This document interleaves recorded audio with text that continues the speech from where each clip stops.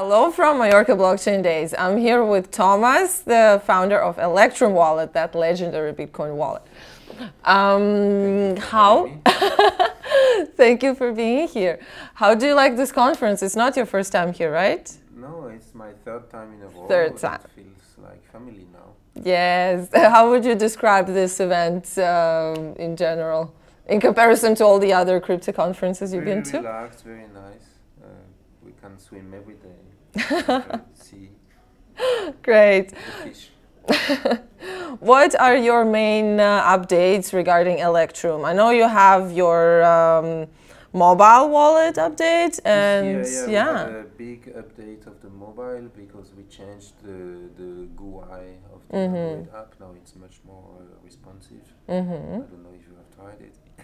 I've tried it a little bit on someone else's Android, but Oh, why yeah, don't you do one for Mac or yeah, iOS? That's a difficult question.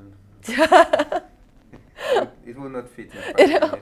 Okay, well, but it is requested. In how in how much time do you think it will fit? Like a year or two?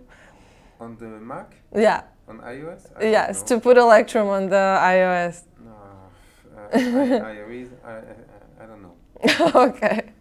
I know you're a very Android person. what is the next update? What is the expected uh, in like the next year from Electrum, let's say? Uh, we have uh, still to improve the user experience on Lightning. Uh, I think we're going to implement something uh, a little bit similar as what Phoenix does uh, Mhm. regarding uh, receiving payments when you don't have capacity. Right. So uh, with a server that opens a, a just-in-time channel uh, on the fly to you to so Mhm. can receive. So this uh, this is not simple. Uh, it's probably going to take us a few months to have a working prototype. Uh, what are the main threats for Bitcoin in your opinion these days? What are you the most scared of that could happen to Bitcoin anytime soon?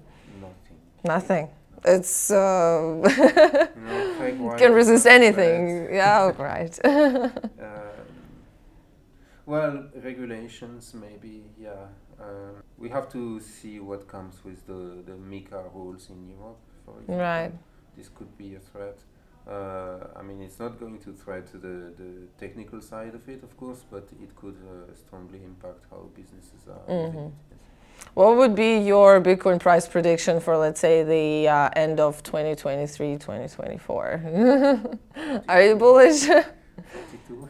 42k. Yeah, okay.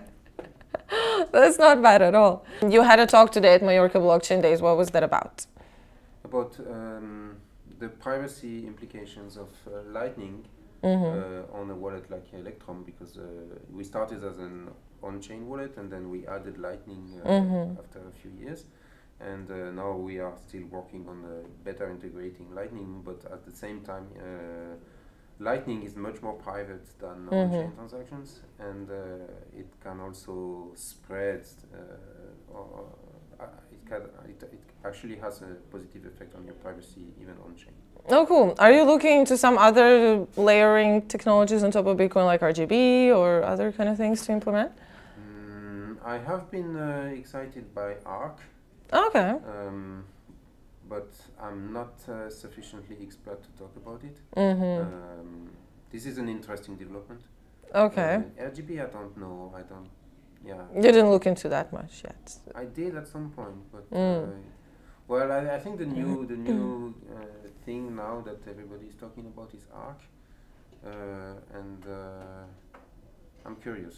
All right. So maybe you could see yourself implementing that in the future in Oh Electrum. wow wow wow! or not that far yet. yeah, they, they they announced that Ark would be actually implemented this year, which I'm a bit skeptical about. Okay. I don't know how complex it is, but uh, let's see. Where do you see all all going like the Web three people and all like the um, Ethereum craze about all the Web three stuff? Are you into that or anti that? How do you feel about it? What is Web three? I mean, are you talking about the Ethereum? Uh, Basically, all the NFTs that people trade on and off, and like all of those um, MMORPG uh, games Oh, and everything. NFTs on uh, the Bitcoin blockchain. Are you asking that?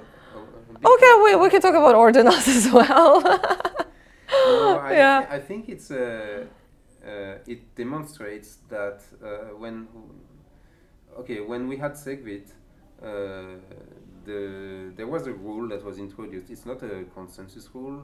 Uh, it's a as, as a rule uh, that the miners use for the consensus, Mm-hmm. but there is a rule that says that the space in the witness is cheaper than uh, on the main part of the block. Mm-hmm. And this rule is not consensus rule. It's just a uh, well, it's another kind of. Uh, I mean, it's a it's a minor decision Mm. to, to charge this much for this part of the block, and we can see now that it this rule doesn't make sense. They could have used the same price for the whole block.